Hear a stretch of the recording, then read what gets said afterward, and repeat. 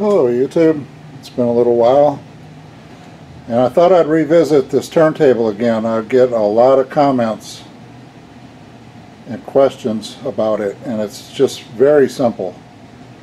So I thought, I'd, it's been a couple years since I made a video on it, I thought I'd go back and try to revisit it. Anyway, um, speaking of comments, since YouTube changed its format a little bit in analytics, I suddenly had hundreds and hundreds of unanswered comments show up in my comment section. I'm sorry for not ever answering any of those. I'd never seen them. They did not show up until just about two weeks ago. And I went through them for a little while and then I finally gave up. I don't even know how many there are. But there's a tremendous amount of them. And I don't know where they were all these years. I mean, they go back from the start of my YouTube uh, channel. So, again, sorry about that. And hell, it may happen again. I may not see them. But those of you that know me know that I try to answer every comment and question that I get. Okay, enough of that. Let's get back to this turntable. I want to show you what it is. A lot of people ask me about the bearings how I ground it with bearings. There's no bearings here. There's none. Zilch, nada. There's a hole in the table that the top part goes through. It feeds down into this piece of tubing that's attached to that platter. and let me take it apart for you to show you how that works. You just loosen this thumb screw I'm just going to flip it upside down here, pull this out.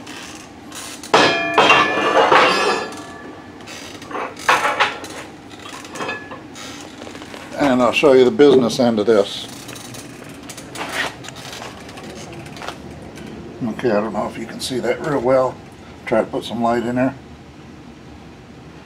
Okay, that is a just a little piece of bar stock with a drill a hole drilled in it and that's a drill point. You can see how it comes back to that, comes up to there, that's the ground attachment to my table. Here is the ground clamp to my welding machine that's attached to the table. Okay, now that's where it gets its ground right there. This is a small piece of bar stock with a radius cut on the bottom. I did that in a lathe. And then I put a little bead around it to attach it to the plate. And then this piece of bar went through the plate up into this piece of tubing, which is not necessary. This could have been just welded right here and this welded here but somewhere here there was a plug weld, I don't even know where it was, we sanded it smooth to weld that little piece of bar into this piece of tubing. And then of course this is just a, you know, thumb screw to attach it to this piece here that slides down in And this hole, the reason there's some, this is, I had to put some I had to build this diameter up here. When I was making this table, this was 30 years ago. I had a helper with me and I had I was turning this platter. Let me turn it over. I was putting these details in turning the facing it so that it was square to the shaft and putting these scroll marks in. And I had a helper and I I measured it, and whatever this diameter was, I told him to drill it a 30 second, drill a hole in my table a 30 second larger than that diameter. Well, obviously he didn't understand a 30 second. So he went and got the mag drill and he drilled it. I'm not even sure what that hole is, but uh, it's quite a bit bigger than the okay 700 and no 800 and 12 thousandths and uh, that's 5 eighths so yeah he went oversized When I went to put it in there, of course, it was real sloppy and I didn't want that, so I just went ahead and used deox, deox copper on here. Just so it would be like a bushing, you know, something that won't be galling or grain, you know, slowing it down when I spin it. Uh, but it doesn't, it doesn't ground through this. It grounds through that bottom. And the reason I know that is because this does not get hot at all. It's, it's always cold, unless I'm preheating parts with a torch. Uh, you probably can't see it. Anyway, unless I'm preheating parts with a torch, it does not get hot. so, how do I lubricate? It's another question. I get a lot of right here. Now you can use dielectric grease or whatever you'd like to use. I mean, but the number one thing, most important thing, is less is best. That right there is one drop inside there. Uh, and I swear, if you put more or put too much in there, it works like a suction. It slows you down. It won't won't turn very easily at all. And I, like I said, this is this setup is 30 years old, and I use it daily.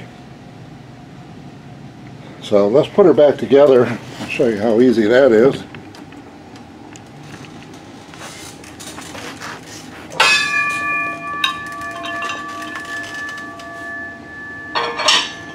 Drop that in the cup. Put this through the hole.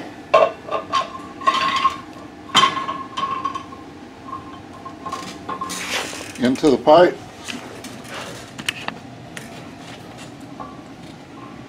And you just spin it with your foot. And that's it.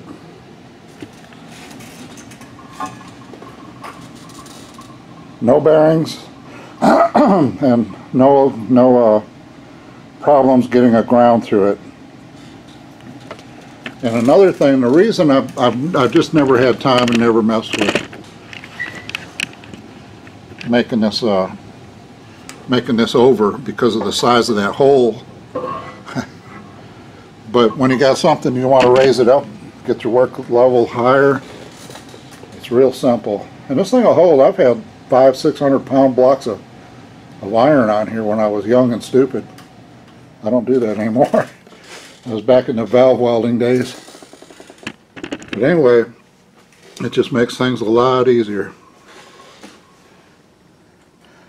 I hope that answered your questions. If there's any more, I know that eh, there's going to be questions. It's going to be a lot of people. What size is this? What size is that? It, it doesn't matter. Whatever you're comfortable with.